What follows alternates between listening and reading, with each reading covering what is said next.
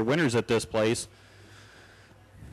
And LeGros right there with them in that second spot. They bunch it up through turns three and four, looking for Green this time by Miller. LeGros, Green in the air.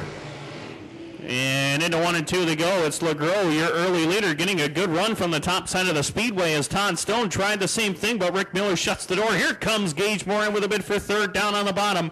He'll pick off that third spot as Todd Stone. He gets a really good run off the top side of the speedway and goes and splits the difference between Gage Moran and Rick Miller. Looks like that outside groove is starting to dust off up there and get a little grip back. And Todd Stone takes the number two spot away as Rick Miller slides up the track. Here comes Gage Moran in a bid for third. Down on the inside, and Miller will slide up the track and give Gage Moran the number three spot.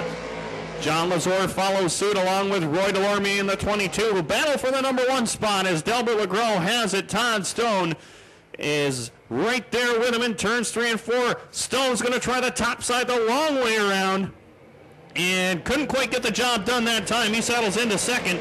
It's LeGros back there in position number one. Stone is second. Moran rounds out your top three along with the 19 of Lazor, the 22 of Delormier completes the rest of the field.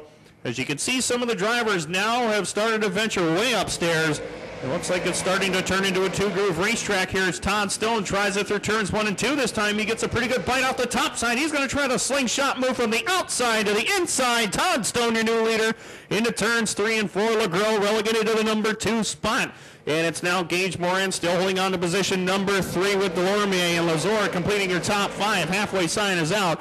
Rick Miller and Tommy Jock Jr. complete the rest of the field, but it's all Todd Stone right now.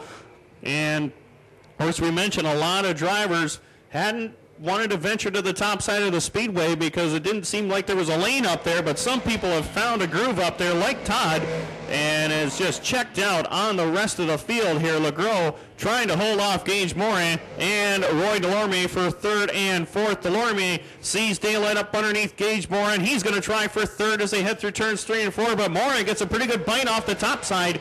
He'll hang on to the number three spot as Roy Delorme and John Lazor battle from fourth and fifth. Seven laps are down in this 10 lap heat event. The first of two on the evening for the modifieds is Todd Stone putting a licking on the field here early in the going. And Delorme gets into the side of LeGros, and LeGros hits hard into turns three and four into the wall. Caution flag is out immediately, and he went hard into that fence over there. Seven are in, three more to go. Austin looks them over off of turn four. Green flag flies. And Stone has that top spot once again. Moran right there with him in second. Then it's Lazor back to third. Rick Miller and Tommy Jock complete it. But Todd Stone got a great restart that time and opens up about a four car length advantage as they work in turns three and four this time. Two more laps to go. Stone has the top spot. The best battle on the racetrack right now is for second and third and fourth and fifth as Tommy Jock digs down low and gets that fourth spot from Rick Miller. Jock going up to spot number four as Miller gets out of shape in turn two, collects it back up at the back of the field. White flag is in the air for Todd Stone. Meanwhile, John Lazor sneaks up underneath, takes that second spot away from Gage Moran, moving Moran back to position number three. Then it is Jock in fourth, followed by Rick Miller, who slows to the outside of turn number four. Checkered flag will come out as Miller pulls to the outside down the front stretch. Stone will get the win. Lazor, Moran, Tommy Jock Jr., and Rick Miller